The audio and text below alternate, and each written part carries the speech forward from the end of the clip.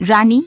सरकार द्वारा जारी गाइडलाइन के अनुसार कोई भी व्यक्ति कहीं भी भीड़ का हिस्सा नहीं बने कोई भी पर्व घर पर ही मनाने, सार्वजनिक स्थानों पर समारोह नहीं करने के आदेश की पालना करवाने के लिए आज रानी रानी कला में जागरूकता रैली निकाली गई। कार्यवाही तहसीलदार सुनीता चारण, थानाधिकारी हिंगलाज दान चारण नगर पालिका के मनोहर सिंह ने वाहनों पर माइक के माध्यम से आमजन से गणेश उत्सव घर पर ही मनाने के लिए